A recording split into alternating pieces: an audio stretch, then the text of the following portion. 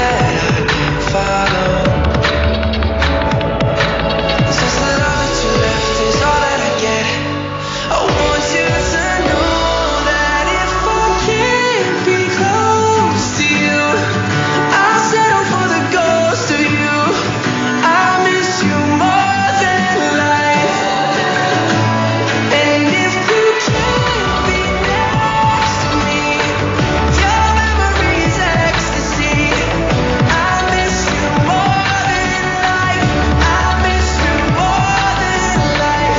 Blood thinks there's always tomorrow.